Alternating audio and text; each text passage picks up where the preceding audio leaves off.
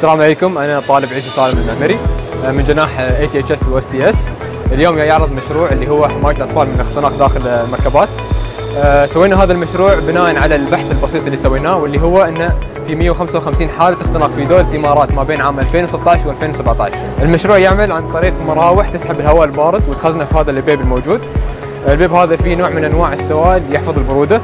آه، وفي مضخة تضخ الهواء البارد على شكل دائرة تبرد الراديتر الموجود في الأمام. آه، وفي حساس للضغط بيحس إذا الطفل موجود في الكرسي أو لا.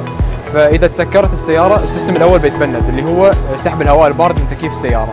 بيبدأ ال system الثاني واللي هو يتصل على الأب. فإذا الأب ما استجاب حق الاتصال في خمس دقائق تقريبا SMS بيوصل حق فريق الإنقاذ آه، في موقع السيارة ومعلومات مالك السيارة ورقم السيارة.